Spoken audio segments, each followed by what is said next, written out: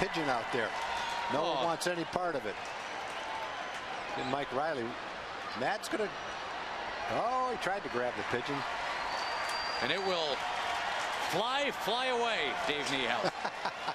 He's coming back for more. Nope. now he's going to go hang out with the Astros. That ball slapped away foul.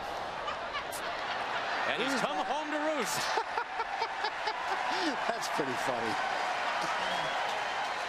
He's playing to the crowd now. And Mike Reilly, the home plate umpire, just trying to shuttle him along. Humberto Someone's not- Quintero's got him. Roberto Quintero will take that. You better be gentle with it. You never know who's in the stands, boy. The Birdman of Venezuela, Humberto Quintero. Yeah, but now we can just fly right out of there. Oh, see?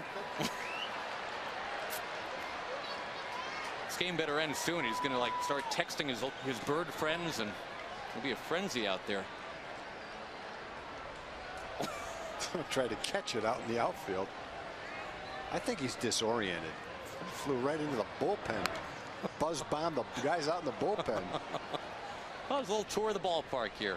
Liven up a 10-1 He's out game. in the center field fence now. Right there is safe, right?